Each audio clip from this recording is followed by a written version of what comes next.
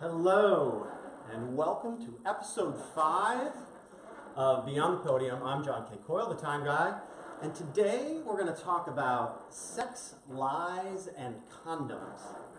Misinformation fed to you by media. So, what am I talking about? Well, if you read the headlines, which I have a couple here, 110,000 condoms spread for the Winter Olympics in South Korea. Or the previous Olympics, this one has amount of condoms ordered for the Rio Olympics will make your jaw hit the floor.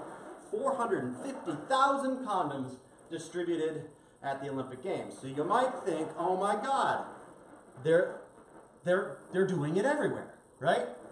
Visions of athletes fornicating all over the Olympic Village come to mind, this prurient interest that they, they pull out of the media every two years, and it's pure bunk.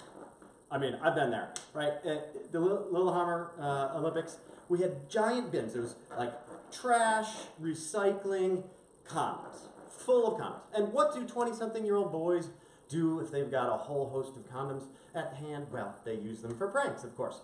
Water balloons, we put them on the girls' doorknobs. I mean, you distribute them and leave a trail of them like candy. It was just, it's just nonsense, right? It's just a, a, a false correlation between condoms distributed and actual use. Now, there's other false headlines that come out every two years as well. The facilities aren't ready, right? Leaky faucets, missing toilets, no doors, this whole nonsense that came out of Sochi. I didn't see a single thing that wasn't exactly perfect. Of course, it's all new facilities, so of course, there's going to be some small problems, but the reality is they invest billions and billions of dollars in the Olympics to make this work.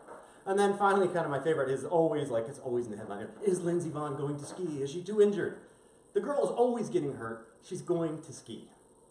So uh, don't believe everything you read in the media. Uh, I think a lot of it is pure bunk. It comes out every two years. They trot it out like it's news, but it's really not. Uh, next up, we're going to be talking in episode six later today about one of my favorite short trackers, J.R. Celski, current world record holder in the 500 meters and the relay.